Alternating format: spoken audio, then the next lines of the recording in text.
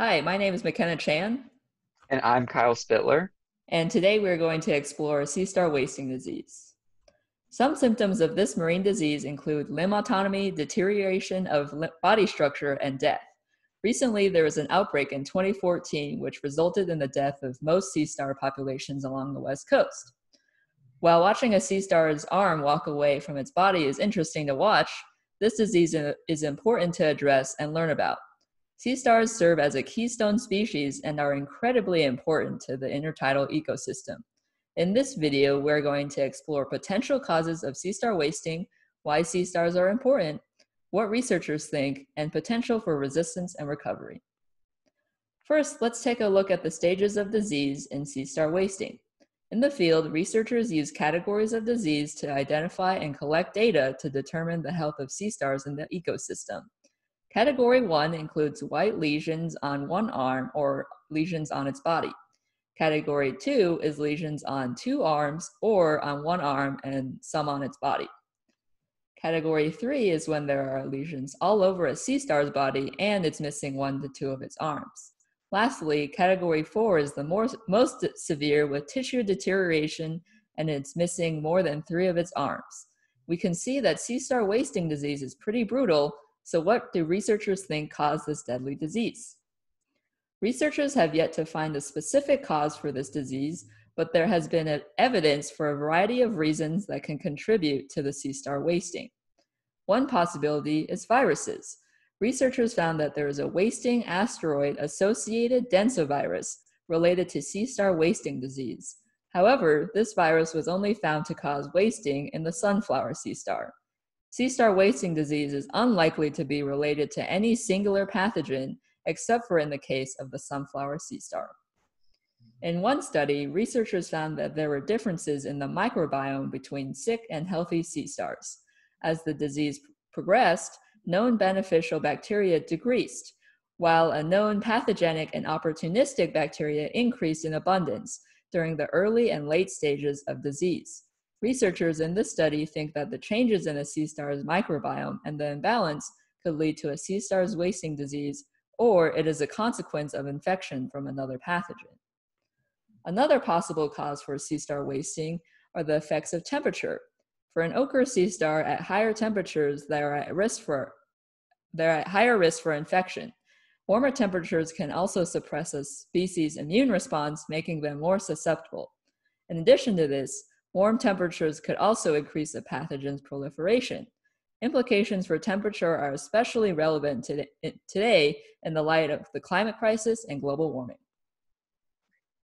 So, in order to understand the significance of this, this, this disease, I guess we have to ask why are sea stars within the rocky intertidal important, or are they even important for the surrounding ecosystem at all? Well, the answer is yes, they are actually one of the most important species within the rocky intertidal. Sea stars within the rocky intertidal act as keystone species. And if you're unfamiliar with a keystone species, this is a species that has a disproportionately large effect on its natural environment relative to its population abundance. So the sea star is not the most numerous creature within the intertidal, but its interactions with the other species there help balance and shape its ecosystem. For example, Sea stars within the rocky intertidal play a big role in the distribution of mussels throughout the area. Mussels create large beds and densely compact on rock surfaces, leaving little room for other anchoring species like barnacles or clams. Through predation of these mussels, sea stars are able to make way for larger diversities of species and maintain the balance of populations. Interestingly, as these sea star populations have struggled to rebound since the onset of wasting disease, scientists have seen the advancement of the mussel beds across the rocky intertidal to cover larger areas. This has negatively affected the diversity of rock-clinging algal species and other species as well. One individual we spoke to in order to get a more clear picture of wasting disease is Dr. Lauren Schiebelhut. She's a geneticist from UC Merced and is currently researching at UC Davis. Her research has identified interesting impacts within sea stars genes that activate in response to the presence of the wasting disease. She's happen, she happened to be researching population dynamics around 2015, which was the year before the wasting disease infected a majority of the sea stars on the Pacific Coast Rocky Intertidal. The next year in 2016, she conducted a genetic analysis of some sea stars that seemed to resist the wasting disease apart from those infected. What she found was that the resistant sea stars activate a set of genetic responses to help them adapt to the stress of the disease. One interesting observation she made was the increase in sea star recruitment the year sea star wasting disease impacted many populations. To explain recruitment briefly, it's the process by which new individuals are added to a population, whether by birth, maturation, or immigration. During Dr. Schiebelhut's population survey in 2016, she observed many juvenile starfish, indicating a large uptake in recruitment had occurred. When we asked if she had any idea why, she speculated that the stress of the disease most likely promoted the production of a high number of offspring for increased chances for spreading and survival of the sea star populations. When analyzing the genes of the recruits versus the sick and resistant adult sea stars in the Rocky Intertidal, she observed that the recruits were genetically similar to the resistant sea stars, indicating that the stress of the disease was promoting the genetic response in the parental and offspring generations. This increase in genetic resistant recruits in 2016 provided much hope to scientists that these potentially genetically superior sea stars would be able to persist and rebound populations to their normal level.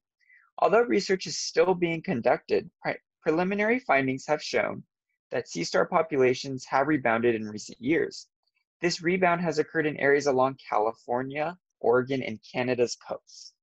However, one interesting thing scientists observed is this recovery is not consistent across space or time, as there seems to be no identifiable trend or correlation to why these populations seem to be able to rebound in certain areas along the coast and not others.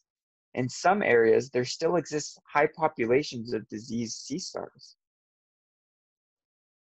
This scattered recovery has led scientists to piece more parts of this largely, largely unknown disease together.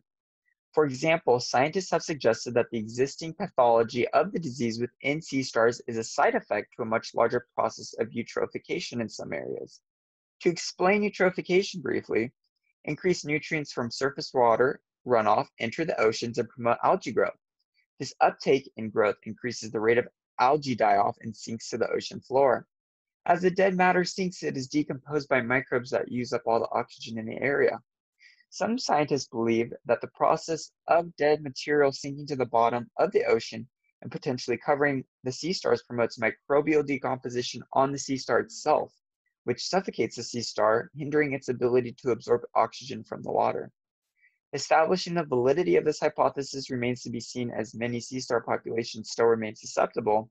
But as you can see, the recovery of sea stars is just as important for unraveling the mystery of the disease as the investigation into the disease itself is.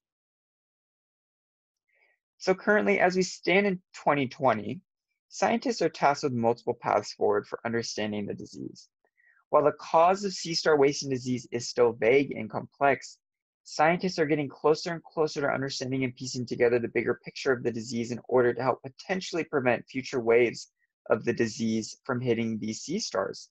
And most importantly, I think scientists are able to understand the resilience of sea stars as well.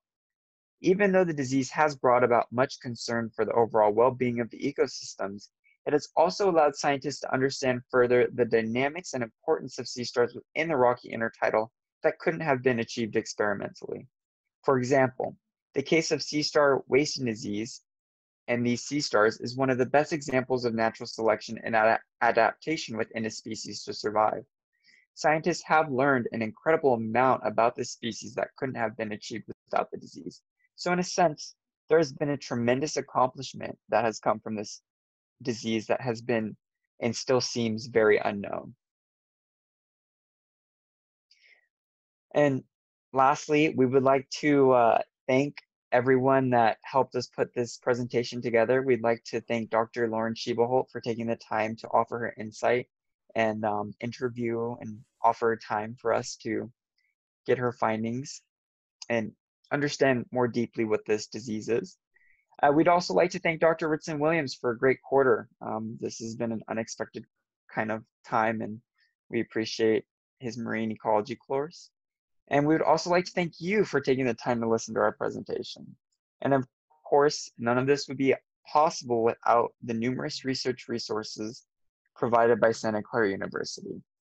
Thank you. Thank you.